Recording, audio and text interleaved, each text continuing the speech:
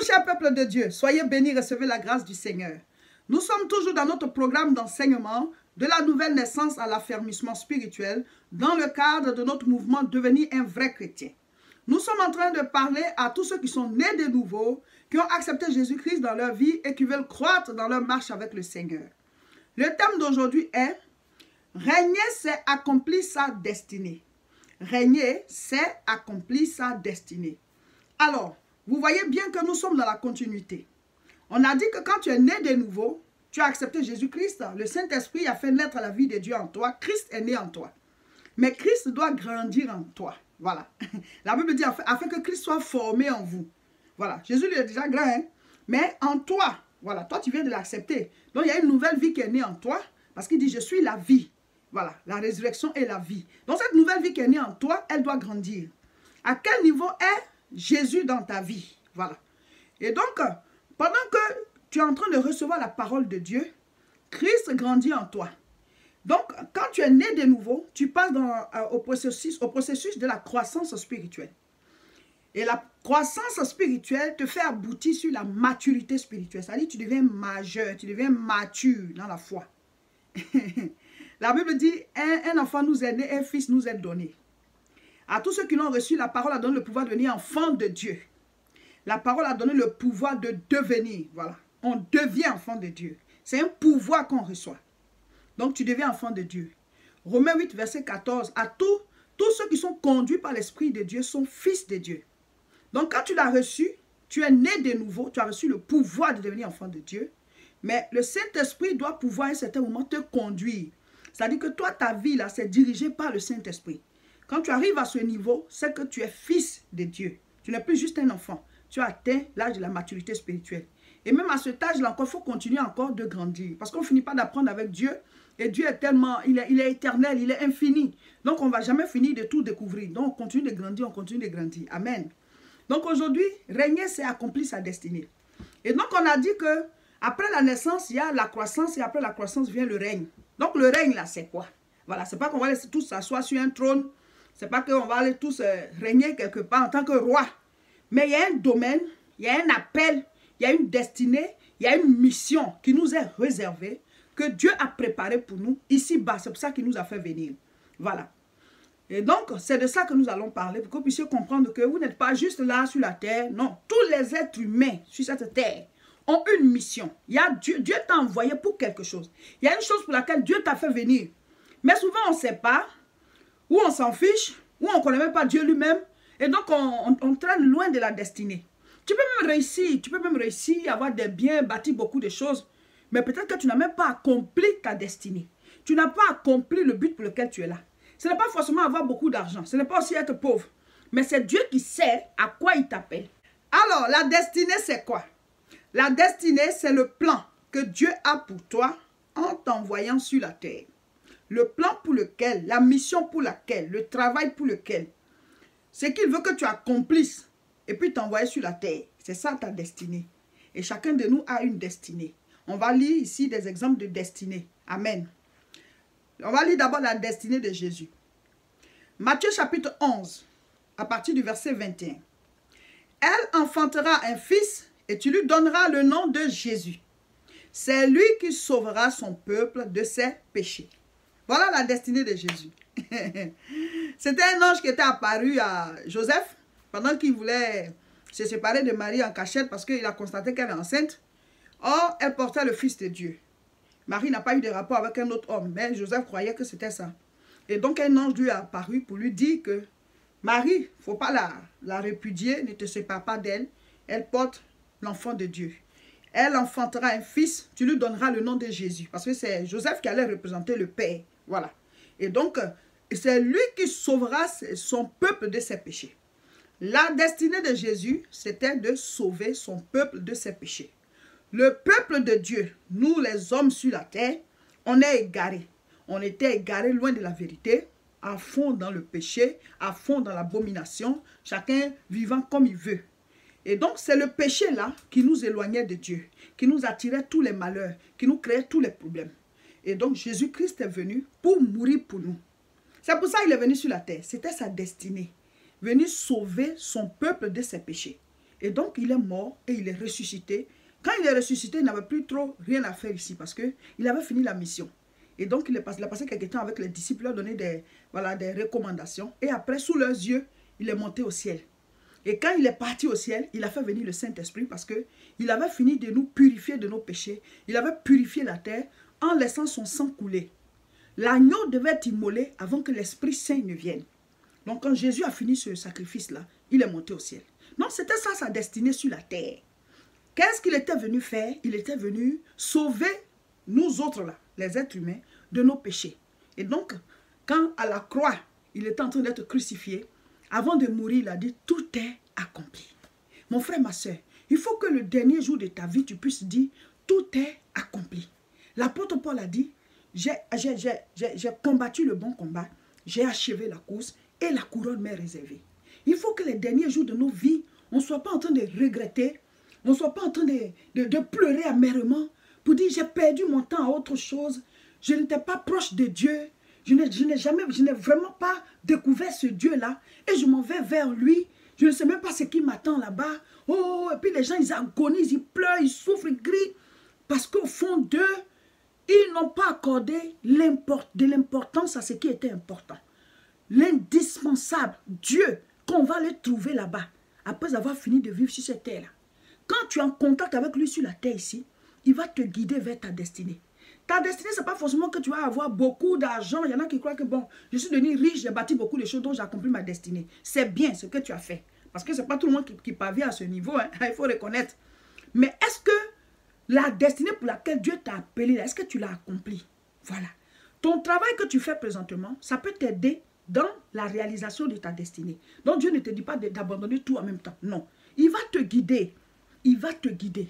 Donc, c'est la présence régulière Hein, dans la, communion régulière avec Dieu, hein, la présence dans sa maison de manière régulière, qui nous guide, qui nous guide, qui nous guide. Nous allons voir aussi la destinée de Jean-Baptiste. Luc chapitre 1, nous lisons à partir du verset 13. Mais l'ange lui dit, ne crains point Zacharie, car ta prière a été exaucée. Ta femme Élisabeth t'enfantera un fils, et tu lui donneras le nom de Jean. Il sera pour toi un sujet de joie et d'allégresse et plusieurs se réjouiront de sa naissance. Car il sera grand devant le Seigneur, il ne, boira ni vin, ni liqueur enivrante, et il sera rempli de l'Esprit Saint dès le sein de sa mère. Il ramènera plusieurs des fils d'Israël au Seigneur leur Dieu. Je répète, il ramènera plusieurs des fils d'Israël au Seigneur leur Dieu. Ensuite, il marchera devant Dieu avec l'esprit et la puissance d'Élie pour ramener les cœurs des pères vers les enfants et les rebelles à la sagesse des justes, afin de préparer au Seigneur un peuple bien disposé. Voici la destinée de Jean-Baptiste. Jean le Baptiste. Sinon, il s'appelle Jean. Mais comme il baptisait les gens, et c'est lui qui a baptisé Jésus, donc on a ajouté le Baptiste sur son nom pour l'identifier, parce qu'il y avait aussi d'autres gens après. Donc Jean le Baptiste, c'est celui-là qui a précédé le Christ. Et c'est dit ici dans la dernière phrase, on dit, afin de préparer au Seigneur un peuple bien disposé. Donc Luc chapitre 1, du verset 13 au verset 17. Voilà. Donc il était là, il précédait le Seigneur pour préparer des cœurs bien disposés à recevoir Christ, à recevoir l'évangile. Lui-même, il dit, je suis la voix de celui qui crie dans le désert, à planisser les sentiers du Seigneur, préparer le chemin du Seigneur. Amen. Donc Jean-Baptiste, il est venu, sa mission c'était ça. Précéder le Christ. Donc c'est sa destinée là qui est là. On dit va donner de la joie et de l'allégresse à son père et à toute la population. Parce que son papa n'a pas vite eu enfant. Sa, femme et lui n'ont pas vite enfanté. Zacharie et Elisabeth. Donc euh, Jean venait comme une consolation. Donc c'est toute cette destinée-là qui était pour ce bébé qui devait naître. Et Dieu a permis que des anges proclament leur destinée avant qu'ils ne naissent. Mais je vais vous dire, pour chaque être humain, il y a une destinée. Même si on n'a pas annoncé à ton papa, même si un ange n'est pas apparu à ta mère, mon frère, ma soeur, tous les êtres humains qui, tous les êtres humains qui viennent sur la terre, il y a une mission que nous, nous devons accomplir. Et la mission que nous accomplissons, c'est pour les autres. C'est-à-dire, Dieu passe par nous pour rendre service aux autres et il passe par les autres pour nous rendre service. Chacun de nous est la réponse de Dieu à une question.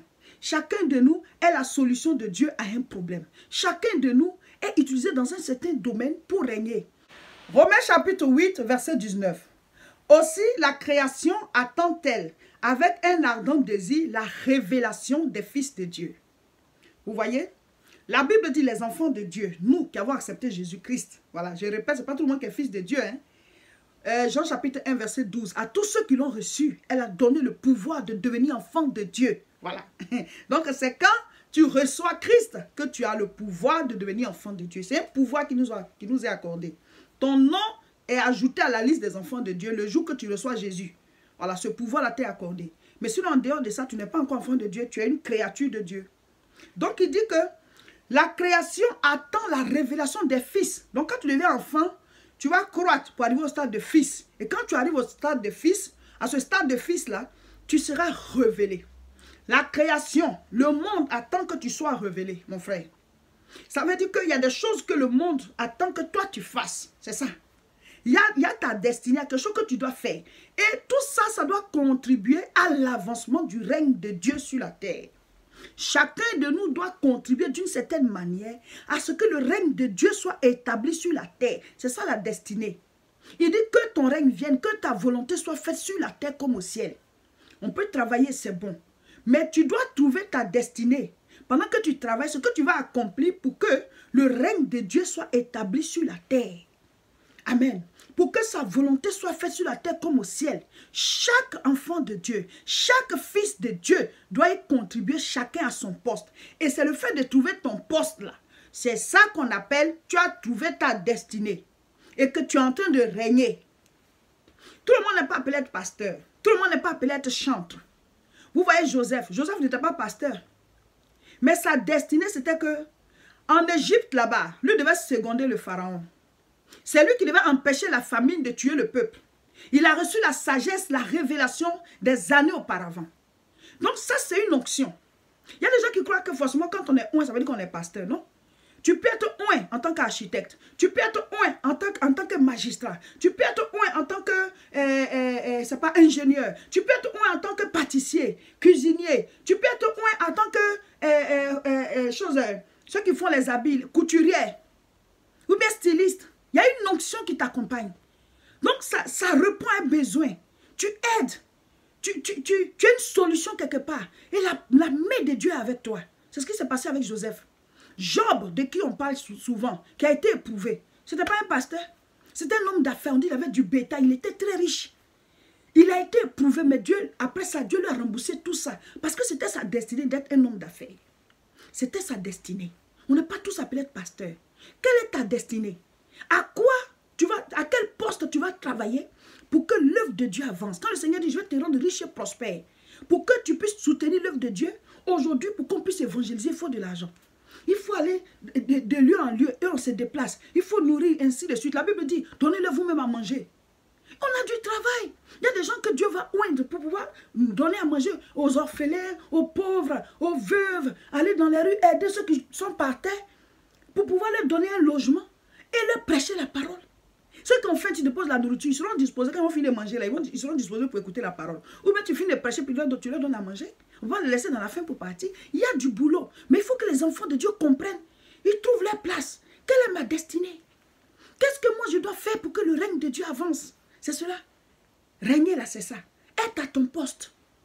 Être à ton poste pour que son règne vienne. Pour que son règne vienne. Quel est mon poste? Qu'est-ce que je dois faire? Ouais, Comment est-ce que je dois contribuer? À quoi? À quel Seigneur, tu m'appelles À quel poste tu m'as disposé? Trouve ta destinée. Prie. Mais pendant ce temps, crois. Quand tu es en train de croire à un certain moment, naturellement, cette destinée va éclore. Vous voyez, c'est comme on voit un arbre, on dit ça, c'est un oranger. Laisse-le seulement croître. Les, oranges vont sortir à un certain moment. Ça, c'est un goyavier. Laisse-le croître. Les goyaves vont sortir. Tu n'as pas besoin de dire, ah, c'est quoi, c'est quoi ma, ma destinée? Il faut croître seulement spirituellement. Naturellement, tu vas découvrir à quoi Dieu t'appelle. Parce que c'est ce table-là que tu es. Les fruits vont sortir. Tout ce qu'il te faut là, faut croître, faut croître. Nourris ta foi. Continue d'écouter les enseignements et obéis. Parce que souvent, les gens, ils écoutent, ils n'obéissent pas. Ça sert à quoi de suivre les enseignements si ce n'est pas pour les appliquer? Tout ce que je vous enseigne, appliquez-les. Ayez votre vie de prière. Lisez la Bible régulièrement. Obéissez à ce que la Bible dit. Faites vos propres temps de jeûne et prière. Combat spirituel, proclamation. Vivez Christ autour de vous. Brillez de la lumière de Dieu. Forcément, vous allez rentrer dans votre destinée.